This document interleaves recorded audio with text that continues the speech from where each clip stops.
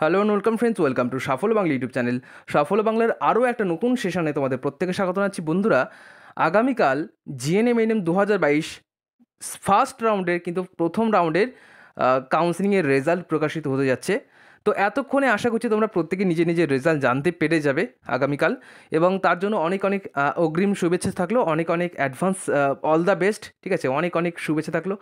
কার কি কলেজ হচ্ছে অবশ্যই কিন্তু কমেন্ট করে জানাবে। তো তোমাদের প্রথম যে প্রশ্নটা আসে, স্যার, কী করে আমরা নিজে নিজের রেজাল্ট জানতে পারব, তাই না? আমরা পরীক্ষা দিয়েছি রেজিস্ট্রেশন করেছি ফি পেমেন্ট করেছি, সমস্ত কিছু করে দিয়েছি। এবার আমাদের কি করতে হবে? তো দেখো, তোমাদের কালকে কিন্তু রেজাল্ট প্রকাশিত হচ্ছে পঁচিশ তারিখ। যেরকম বলেছিলাম, তোমাদেরকে একটা গ্রাফিক্স দিয়ে দেখিয়ে দেবো যে কীভাবে তোমরা নিজে নিজের মানে কলেজগুলো কীভাবে দেখতে পাবে, ঠিক আছে? সেটা গ্রাফিক্স দিয়ে একটু পরে বলে দিচ্ছি। দেখো তো কালকে কী করে তোমরা রেজাল্ট জানতে পারবে? সেকেন্ড যে প্রশ্ন যে, স্যার, আমি যদি পছন্দের কলেজ না পাই, তাহলে কী করতে হবে? আর যদি আমি সেই কলেজটা পছন্দ হয় বা যে কলেজটা পেয়েছি, সেই কলেজে আমি ভর্তি হতে চাই, সেক্ষেত্রে আমি কী করতে হবে? তো এত কিছু আমি বলব। এবং আরও একটা প্রশ্ন, স্যার, কবে, কত তারিখের মধ্যে আমাদেরকে ডকুমেন্ট ভেরিফিকেশন করতে হচ্ছে বা কীভাবে আমাদের আপগ্রেডেশন করতে হবে? সমস্ত প্রসেসটাই তোমাদেরকে আজকে এই ভিডিওতে বলব। আর অবশ্যই যারা যারা প্রথমবার এসেছ, কিন্তু অবশ্যই চ্যানেলটা সাবস্ক্রাইব করো এবং প্রচুর লাইক করে দাও। আশা রাখছি এই ভিডিও তোমরা এক হাজার লাইক এনে দেবে। তো প্রচুর শেয়ার করো, প্রচুর লাইক এনে দাও। তাহলে এরকম আরও ইন্টারেস্টিং ফ্যাক্ট তোমরা জানতে পারবে। তো দেখো প্রথমে তোমাদের বলে দিই, আগামীকাল, অর্থাৎ পঁচিশ তারিখ তোমাদের কিন্তু এই মুহূর্তে রেজাল্ট প্রকাশিত হয়ে যাবে, ঠিক আছে? এবার তোমরা কি জানতে পারবে, এখানে তোমরা জানতে পারবে তুমি কোন কলেজ পেয়েছ, কি পাওনি। যদি না পেয়ে থাকো, তাহলে কিছু লেখা থাকবে না, লেখা থাকবে sorry you don't have any allotment আর যদি লেখা থাকে যে হ্যাঁ তুমি কোনো কলেজ পেয়েছ, তাহলে কী লেখা থাকবে congratulations you have a allotment ঠিক আছে? প্লিজ চেক ওয়েবসাইট তারপরে সেই যাবতীয় তথ্য লেখা থাকবে। অর্থাৎ এখানে মেসেজ আসতে পারে যদি নাও আসে, তোমরা কিন্তু অবশ্যই ওয়েবসাইটে ফলো করবে। আমি তোমাদের যখনই রেজাল্ট জানতে পারব তখন কিন্তু ভিডিও দিয়ে তোমাদের বলে দেবো। অর্থাৎ ভয়ের বা চিন্তার কোনো ব্যাপার নয়। সঙ্গে সঙ্গে যখনই জানতে পারব, তোমাদের ভিডিও দিয়ে জাস্ট আধ ঘণ্টার মধ্যে তোমরা ভিডিও পেয়ে যাবে। ওকে সো এইটা গেল আমাদের রেজাল্টটা এবার রেজাল্ট কী করে দেখবে, সেটা আমি খুব তাড়াতাড়ি বঙ্গীয় নার্সিং একাডেমিতে একটা ভিডিওতে তোমাদের বলে দেবো। সেখানে কিন্তু তোমরা চেক করবে, সেই চ্যানেলে কিন্তু আমি দিয়ে দেবো ভিডিও একটু পরেই দেবো। সেখানে কিন্তু তোমরা দেখতে পাবে কীভাবে তোমরা রেজাল্টটা চেক করবে। ওকে সো ওটা নিয়ে আর কিছু বলছি না। এবার বলি, ধরো তুমি একটা কলেজ পেয়েছ, ঠিক আছে? মনে করো তুমি একটা কলেজ পেয়েছ, তোমার সেটা হতে পারে প্রাইভেট কলেজ হতে পারে সেটা গভর্নমেন্ট কলেজ হতে পারে সেটা N M N T S হতে পারে সেটা G N M N T S এবার তোমার কী করণীয়? যদি সেটা তোমার পছন্দের কলেজ হয়, তাহলে তোমায় কী করতে হবে? যদি অপছন্দের হয়, তাহলে কী করতে হবে? দেখো ফার্স্টে বলি যাদের পছন্দের, ঠিক আছে? মনে করো তোমার সেই কলেজটা পছন্দ হয়ে গেল। তো প্রথমেই তোমায় করতে হবে কি? সিট অ্যাকসেপ্ট করতে হবে, ঠিক আছে? অর্থাৎ সিট বুকিং এইরকম টাইপের তো সিট বুকিং করার জন্য কত টাকা লাগছে? সিট বুকিং করার জন্য লাগছে এক হাজার টাকা। এটা তোমার গভর্নমেন্ট হোক অথবা প্রাইভেট হোক এএনএম হোক অথবা জিএনএম হোক, প্রত্যেকেই কিন্তু পেমেন্ট করতে হবে। যারা যারা কলেজ পাবে, তাদের প্রত্যেকেই এক হাজার টাকা পেমেন্ট কিন্তু করতেই হবে, ঠিক আছে? তো এটা গেল সিট অ্যাকসেপ্টেন্স ফি এবার কি? সেকেন্ডে যেটা করতে হবে সেটা হচ্ছে কি, তোমাদের কিন্তু অ্যালটমেন্ট লেটারটা ডাউনলোড করতে হবে। এই অ্যালটমেন্ট লেটারে লেখা থাকবে তুমি কোন কলেজ পেয়েছ এবং সেখানে গিয়ে তোমায় কিন্তু কোন দিন কখন ই করতে হবে সেইগুলো জানি জানিয়ে দেবো। দেখো, মূলত আমাদের এই যে তারিখগুলো আছে না, পঁচিশ থেকে একত্রিশ তারিখের মধ্যে কিন্তু সমস্ত প্রসেসটা কমপ্লিট করতে হবে। অর্থাৎ আমাদেরকে সিট অ্যাকসেপ্ট করতে হবে ডাউনলোড অ্যালটমেন্ট করতে হবে এবং ইউনিক অ্যালটমেন্ট আইডিটা ডাউনলোড করতে হবে এবং সেই কলেজে গিয়ে যে কলেজে পেয়েছি, সেটা হতে পারে নর্থ বেঙ্গলে কোনো একটা কলেজ হতে পারে সাউথ বেঙ্গলে কোনো একটা কলেজ হতে পারে কলকাতা কোনো একটা কলেজ হতে পারে হতে পারে তোমার এদিকে যেগুলো আছে ঝাড়গ্রামের দিকে কোনো একটা কলেজ যেখানেই পাও না কেন, তোমায় কিন্তু সেখানেই যেতে হবে। অর্থাৎ অন্য কোথাও গেলে কিন্তু হবে না। তুমি ভাবছ যে আমি আমি বাড়ির পাশে একটা ছিল, সেখানে চলে যাই। না, এরকমটা নয়। তুমি যে কলেজে পাবে, সেই কলেজে গিয়ে ডকুমেন্ট ভেরিফিকেশন করাতে হবে এবং সমস্ত ডকুমেন্ট আমি কী কী লিখে দিয়েছি, কী কী ডকুমেন্ট লাগবে মোটামুটি ওভারঅল সব লেখা আছে, ঠিক আছে? আমি একে একে সব বলছি। তো তোমায় কী করতে হবে? এই তিনটে জিনিস ডাউনলোড করতে হবে প্রথমে, ঠিক আছে? এই তিনটে জিনিস রেজাল্ট জানার পরে পরই কিন্তু এই তিনটে জিনিস ডাউনলোড করে নিতে হবে। ডাউনলোড হলো, তারপর কিন্তু তোমাদের এই কলেজে যাওয়ার জন্য, যে কলেজ পেয়েছ, মনে করো আমি বললাম যে তুমি পেয়েছ নর্থ বেঙ্গল মেডিকেল কলেজ ঠিক আছে? ভালো কলেজ খুবই সুন্দর জায়গা এবং সত্যি খুব মনোরম জায়গাটা। আমি নিজে দেখেছি, আমি বিভিন্ন স্টুডেন্টদের ছবিগুলো দেখতাম, খুব ভালো লাগতো এবং মনটা উৎফলে ভরে উঠতো। তো আমার এমনি নর্থ বেঙ্গল খুব প্রিয়, আমি নর্থ বেঙ্গল বলতে গেলে ফ্যান এক প্রকার এক প্রকার বলতে গেলে। যাই হোক না কেন, তো সেইখানে দেখা যাবে কি তোমাকে কিন্তু সেইখানে গিয়ে, অর্থাৎ নর্থ বেঙ্গল মেডিকেল কলেজে গিয়ে তোমাদের কিন্তু পঁচিশ থেকে একত্রিশ তারিখের মধ্যে সেখানে যেতে হবে, যাওয়ার পর ডকুমেন্ট ভেরিফিকেশন করতে হবে। ঠিক আছে? এইবার ডকুমেন্টে কী কী লাগবে? ডকুমেন্ট লাগবে প্রথম হচ্ছে র্যাঙ্ক কার্ড লাগবে, যে র্যাঙ্ক কার্ডটা অর্থাৎ রেজাল্ট তোমরা জানতে পেরেছিলে সেই র্যাঙ্ক কার্ডটা লাগবে। সেকেন্ড যেটা, সেটা হচ্ছে তোমাদের অ্যালটমেন্ট লেটার যেটা তোমরা কালকে পাবে। থার্ড যেটা, সেটা হচ্ছে কি আইডি প্রুফ এই আইডি প্রুফ বিভিন্ন রকম হতে পারে, যেমন তোমার আধার কার্ড হতে পারে প্যান কার্ড হতে পারে বার্থ সার্টিফিকেট সমস্ত কিছু কিন্তু নিয়ে যাবে, ঠিক আছে? অরিজিনাল সমস্ত কিছু নিয়ে যাবে, তার সাথে জেরক্স কপি নিয়ে যাবে। আমি যদিও বলে দিয়েছি কী কী লাগবে, সমস্ত কিছু তো একটা ভিডিওতে বলা সম্ভব নয় তবু চেষ্টা করছি একটু সংক্ষেপে বলার, ঠিক আছে?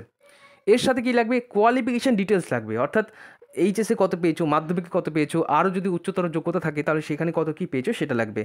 আর সব থেকে যেটা মেন ইম্পর্টেন্ট যে জিনিসটা, সেটা হচ্ছে অ্যাডমিট কার্ড অর্থাৎ মাধ্যমিকের অ্যাডমিট কার্ড লাগছে এবং এইচএসের মার্কশিট লাগছে। এটা এখানে লেখা হয়নি, কারণ জায়গা খুবই কম, যার জন্য লেখা হয়নি। তো তোমরা কিন্তু এটা কিন্তু অবশ্যই নোট করে রাখবে, ঠিক আছে? এর সাথে কি লাগছে? এর সাথে লাগছে মেডিকেল অথবা ডোমিসাইল সার্টিফিকেট যেটা তোমাদেরকে আমি ভিডিও দিয়ে বলে দিয়েছিলাম যে কীভাবে তোমরা এটা বানাবে, ঠিক আছে? যদি না দেখে থাকো, অবশ্যই চ্যানেলে প্রবেশ করে দেখে নাও, অবশ্যই পেয়ে যাবে, ঠিক আছে? আর কি লাগছে? এর সাথে লাগছে পাসপোর্ট সাইজ ফটো ঠিক আছে? তো এত কিছু লাগছে, এগুলো সব ডকুমেন্ট ভেরিফিকেশনের সময় দেখবে। আমি পরবর্তীকালে আবার ক্লিয়ার করে বলে দেবো, যখন রেজাল্ট বেরবে তখন একদম ক্লিয়ার করে বলে দেবো, ঠিক আছে? এগুলো সব নিয়ে যেতে হবে একত্রিশ তারিখের মধ্যে, একত্রিশ তারিখ সন্ধ্যে ছটার মধ্যে তোমাদের কিন্তু সেই কলেজে যেতে হবে। যদি তোমার বাড়ি হয় কলকাতা, তো তুমি ভাবছ নর্থ বেঙ্গল যাব? অবশ্যই যেতে হবে। যদি তোমার নর্থ বেঙ্গলই হয়, তাহলে নর্থ বেঙ্গল থেকে নর্থ বেঙ্গল মেডিকেল কলেজ যেতে হবে। যদি তোমার বাড়ি হলো অনেক দূর, ধরো আমি কথা বলছি তুমি নর্থ বেঙ্গল না পেয়ে তুমি পেয়ে হয়তো এস এস কেম হসপিটাল তো তোমাকে কেম হসপিটালেই যেতে হবে, ঠিক আছে? অন্য কোথাও গেলে কিন্তু হবে না। ধরো তুমি পেয়ে গেলে ঝাড়গ্রামে কোনো একটা কলেজ তো ঝাড়গ্রামেই যেতে হবে। ধরো তুমি পুরুলিয়ার কোনো একটা কলেজ পেলে, তো পুরুলিয়াতেই যেতে হবে। ধরো তুমি মুর্শিদাবাদে কোনো একটা কলেজ পেলে, তো মুর্শিদাবাদেই যেতে হবে, ঠিক আছে? তো তোমাকে কিন্তু সেইখানেই যেতে হবে, যেখানে তুমি পেয়েছ সেখানে যেতে হবে, অন্য কোথাও গেলে কিন্তু হবে না। এটা গেল আমাদের পুরো কাউন্সিলিং প্রসেসটা ঠিক আছে? আর এর সাথে একটা কী দিতে হবে? সেটা হচ্ছে আপগ্রেডেশনের ফরম্যাট এটা হতে পারে তুমি যদি সেই কলেজটা তোমার প্রিয় হয়ে থাকে, দেখো লিখে দিয়েছি যে যদি পছন্দের কলেজ হয়, তাহলে নো আপগ্রেডেশন যদি অপছন্দের হয়, তাহলে ইয়েস আপগ্রেডেশন এইটা কিন্তু ওরা জিজ্ঞাসা করবে যে আপনি কি এখানে ভর্তি হতে চান? তো যদি বলো যে হ্যাঁ আমি ভর্তি হতে চাই, সেক্ষেত্রে তোমাকে বলবে অবশ্যই তুমি নো আপগ্রেডেশন দেবে।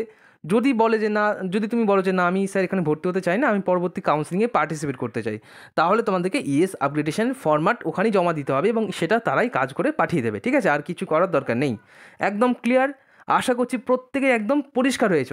এবার ধরো তোমার ধর পছন্দ হলো না, যে কলেজটা পেয়েছ সেটা তোমার পছন্দ হলো না। বিভিন্ন কারণ হতে পারে, তুমি প্রাইভেট কলেজ পেয়ে গেলে এরকম হতে পারে। হয়তো তোমার ভালো র্যাঙ্ক তুমি হয়তো আশা করেছিলে বাড়ির পাশেরটা পাবে, খুব ভালো কলেজ সেটা তুমি হয়তো পাবে এরকম আশা করেছিলে বাট পাওনি। তো যাই হোক না কেন, কারণ যাই হোক, তুমি তোমার পছন্দ কলেজ পাওনি। তুমি ভাবলে আমি আপগ্রেডেশন করব সেকেন্ড রাউন্ড পার্টিসিপেট করতে চাই। তো তুমি কী করলে আপগ্রেডেশন করলে? তো তোমায় কী করতে হবে? এই যে সমস্ত প্রসেসটা আছে না সিট অ্যাকসেপ্ট করতে হবে ডাউনলোড অ্যালটমেন্ট করতে হবে ডাউনলোড ইউনিক অ্যালটমেন্ট আইডি সমস্ত কিছুই করতে হবে, ঠিক আছে? ঠিক যেমনটা পছন্দের কলেজের ক্ষেত্রে করতে হচ্ছে, ঠিক তেমনটা অপছন্দের কলেজের ক্ষেত্রেও করতে হবে, ঠিক আছে? এই দুটোই কিন্তু সেম প্রসেস শুধু ফারাক হচ্ছে এখানে তোমাদেরকে এখানে, এইখানে কিন্তু নো আপগ্রেডেশন দিতে হচ্ছে আর অপছন্দের কলেজের ক্ষেত্রে তোমাদের কিন্তু ইয়েস আপগ্রেডেশন দিতে হচ্ছে। অর্থাৎ তুমি আপগ্রেডেশন করতে চাও সেকেন্ড রাউন্ডের জন্য। এবার একটা প্রশ্ন যে, স্যার, আমি যদি সেকেন্ড রাউন্ডে কোনো কলেজ না পাই, তাহলে কি আগের কলেজটা থাকবে, নাকি সেটা আমার হাতছাড়া হয়ে যাবে? তো উত্তরটা হচ্ছে, না, তুমি যে কলেজটা পাবে, সেই কলেজটা যদি মানে তুমি যদি সেকেন্ড রাউন্ডে কোনো কলেজ না পাও, তাহলে কিন্তু আগের কলেজটা থাকছে। আর যদি তুমি সেকেন্ড রাউন্ডে কোনো একটা নতুন কলেজ পেয়ে যাও, তাহলে কিন্তু আগের কলেজের কথা ভুলে যাও, সেটা কিন্তু তুমি পাবে না। ঠিক আছে? আশা করছি বুঝতে পেরেছ পুরো জিনিসটা। তো খুব বুঝে শুনে আপগ্রেডেশনটা করতে হবে। আমি এটাই বলব যে রেজাল্ট পেয়ে গেলে মানে খুব নাচনাম, বিরাট আনন্দ। আমি আপগ্রেডেশন করব কি আপগ্রেডেশন করব না বুঝতে পারছি না, এরকম করলে কিন্তু হবে না। তোমাকে আগে থেকে একটা মানসিকভাবে প্রস্তুতি নিতে হবে যে হ্যাঁ আমাকে এবার বাড়ি থেকে যেতে হবে।